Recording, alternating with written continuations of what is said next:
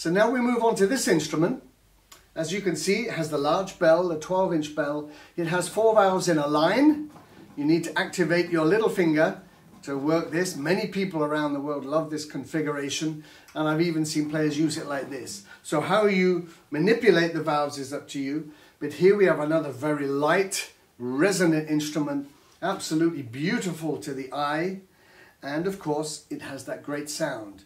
They're made so well with such precision and resonant metal that whatever model you get from this range, you're going to be really thrilled with the sound. So this is the BE 164.